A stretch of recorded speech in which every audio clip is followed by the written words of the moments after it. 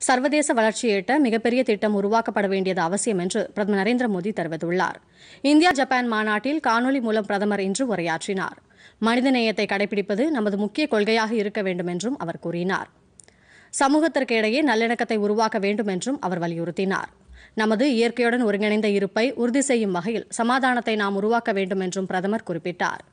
எதிர்காலத்தில் இளம் தலைமுறையினர் மனிதாபிமானத்திற்கு மேலும் மதிப்பளிக்கக்கூடிய பிரகாசமான சூழல் ஏற்படும் என்றும் கூறினார். உலகளாவிய வளர்ச்சி என்பது ஒரு சிலரால் மட்டும் இயலாத காரியம் என்றும் அவர் கூறினார் நமது நோக்கம் விரிவானதாக இருந்தால் மட்டுமே மனிதாபிமானத்தை நோக்கிய அணுகுமுறையுடன் வளர்ச்சி சாத்தியம் என்றும் பிரதமர் நரேந்திர மோடி கூறினார் I would like to propose the creation of a library of all such traditional Buddhist literature and scriptures.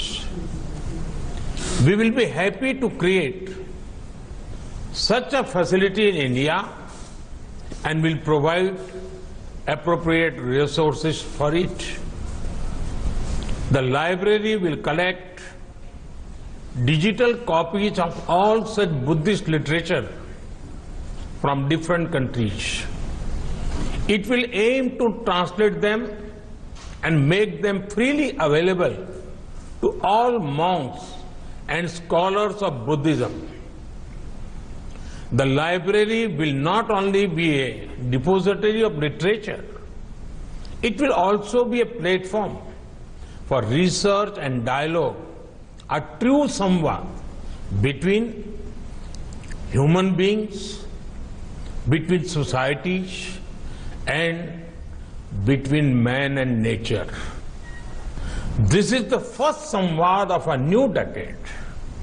It is happening at a critical moment of human history. Our actions today will shape the discourse in the coming times. This decade and beyond will belong to these societies that place a premium on learning and innovating together. It will be about nurturing bright young minds who will add value to the humanity in the times to come. India Japan அமைப்பு குறித்து கூறிய பிரதமர் கௌதம புத்தரின் கொள்கைகளை முன்னெடுத்துச் செல்வதை உறுதிப்படுத்தும் மிக முக்கியமான பணிகளை இந்த அமைப்பு சிறப்பாக மேற்கொண்டு வருகிறது என்றார்